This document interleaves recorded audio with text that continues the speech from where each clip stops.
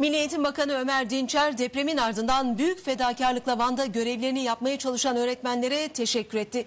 Dinçer bir şirketin Van için başlattığı Türkiye Kumpara- Kumbarası kampanyasına katıldı. Van'daki öğretmenlere yanınızdayız mesajını verdi. Türkiye kumbarasına Bir haberleşme şirketi depremle sarsılan Van için eğitim alanında kullanılmak üzere kampanya başlattı. Şirket Türkiye Kumbarası adını verdiği kampanyaya 5 milyon lira bağışladı.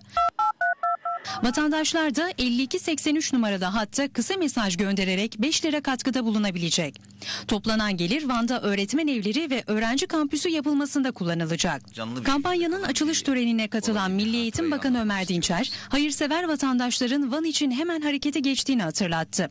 Dinçer, hayırseverlerden bölgede eğitim faaliyetlerinde kullanılmak üzere 49 projenin sözünü aldıklarını söyledi. Ömer Dinçer, Van'da görev yapan öğretmenleri de seslendi. Bu yaptığınız fedakarlık ve çalışmalar için ben teşekkür ediyorum. Biliyorum biraz daha sabır gerekiyor. Size biraz daha sabır tavsiye ediyorum. Ama bilin ki biz sizi unutmuyoruz, yalnız bırakmamaya çalışıyoruz. Elimizden geldiğince destekliyoruz. Türkiye Kumbarası'ndaki parayla Mart ayında öğrenci kampüsü ve öğretmen evlerinin temeli atılacak.